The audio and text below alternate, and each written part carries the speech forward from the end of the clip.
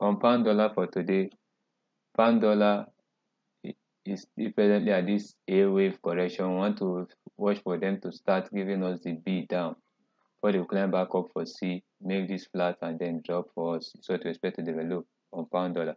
So if we zoom to the 4 hour time frame we want to start looking out for a sign of reversal and they are giving us that right now with the sell setup here. We want to enter this sell down because this sell can tag back this low before they will pull back up to make a flat and then drop for us on pound dollar. So if to a one hour time frame we want to join this flag right now they are broken through and watch for them to drop down for us.